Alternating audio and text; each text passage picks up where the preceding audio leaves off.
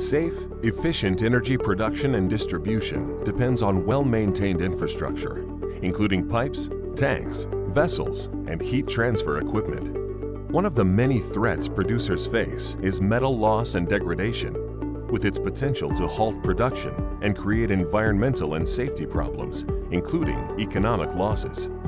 Until now, inspecting and monitoring for corrosion, erosion, and cracking was a slow manual process fraught with safety risks, high cost, and poor data integrity.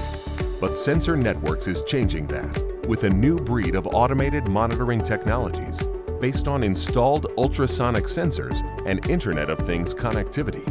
A digital network technology capable of accurately measuring remaining wall thickness and calculating corrosion and erosion rates across a large area. In a typical installation, a network transmitter sends an analog pulse to the first connected transducer, where it is converted into high-frequency acoustic or ultrasonic energy. That acoustic energy travels through the subject material and reflects off the back wall.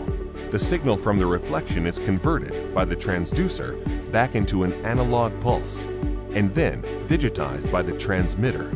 This sequence is repeated for the other connected transducers. Each transmitter also includes an RTD temperature sensor for automatic acoustic velocity compensation. Once a transmitter has successfully transmitted measurements from all its transducers, other transmitters follow suit.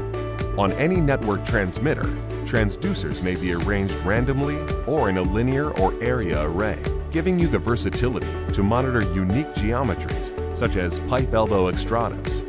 Several transducer types are available, including single element contact, dual element for highly pitted surfaces, delay line for temperatures up to 500 degrees Celsius, and angle beam transmission for continuous crack monitoring.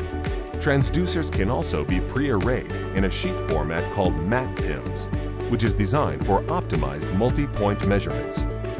Two network topologies are available, Smart PIMS Cellular and Smart PIMS Modbus. Both are highly scalable from a single sensor point up to thousands of points. Each system has the ability to tie back to WebPIMS, a web portal for simple and convenient data display and analysis. SmartPIMS Cellular is a convenient, cost-effective way to wirelessly transmit thickness data wherever cellular connectivity is available.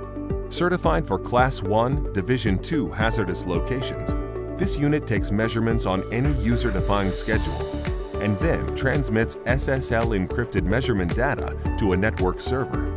Typical battery life is five or more years.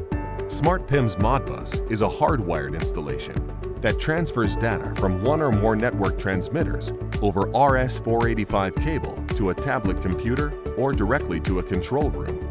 The WebPIMS portal offers an instantaneous, enterprise-wide understanding of asset condition and deterioration rates, Measurement nodes can be viewed by location on a map or as tabular data. In either format, the operator can drill down to trend historical data, analyze archived waveforms, and perform statistical analysis.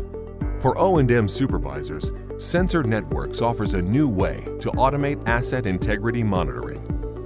Using a network of ultrasonic sensors, our platform improves safety, data quality, and regulatory compliance while significantly lowering the costs, delays, and risks associated with manual data collection.